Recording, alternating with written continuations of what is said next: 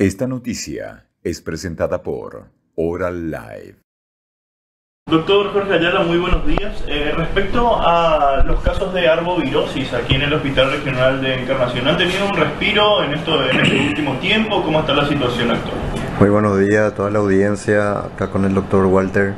Estamos siempre viendo esa reingeniería que estuvo mencionando justamente para tratar de optimizar eh, los recursos que tenemos, tanto edilicio como recursos de humanos, ¿verdad? Que hace falta para poder dar respuesta a ese paciente que llega aquí al hospital y que no da tregua realmente, así como está mencionando, tenemos un, entre un 15 a un 20% aproximadamente de aumento de casos debido a casos respiratorios, que es lo que ahora está en alza. Los cuadros de arbovirosis tienen un franco descenso ya actualmente eh, afortunadamente, tanto aquí a nivel local como a nivel nacional, eso se está dando de, esa manera y esperamos que esa tendencia siga. Sí, los cuadros respiratorios lo que están presentando un aumento que están llegando a las urgencias, que están llegando a los consultorios. Afortunadamente la campaña de vacunación es una herramienta importante para que la mayoría de esos pacientes no queden internados.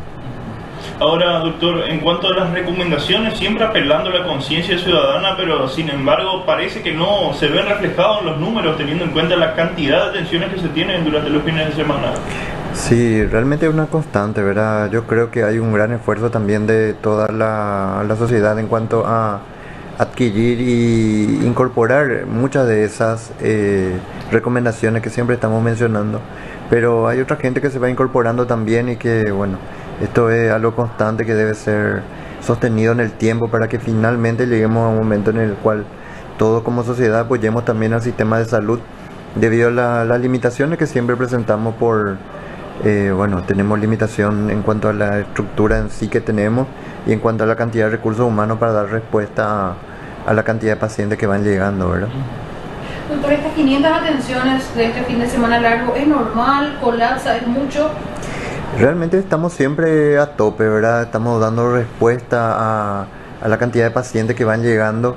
Eh, creo que nadie queda sin una atención y tampoco una respuesta al problema que le, le, trae aquí hasta el hospital, ¿verdad? En ese sentido diría que estamos siempre eh, sobreexigidos, pero dando respuesta dentro de la dentro de la necesidad que tiene el paciente cuando llega aquí. O sea, 500 viene siendo la, Estamos mencionando, sí, cada fin de semana alrededor entre 450 550 pacientes que cada fin de semana se está manteniendo.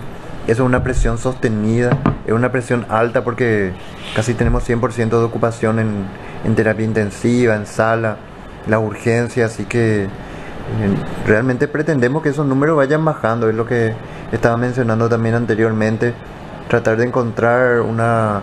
Eh, empatía en, el sentido de las prevenciones que se puedan realizar en muchas de las enfermedades crónicas, que muchas de ellas terminan estos fines de semana con pacientes descompensados y eso es lo que queremos que sigan un control nada más ambulatorio, más coordinado ¿verdad? con el área de, de ambulatorio, de consultorio externo y que dejemos realmente la urgencia para aquellos que no son prevenibles.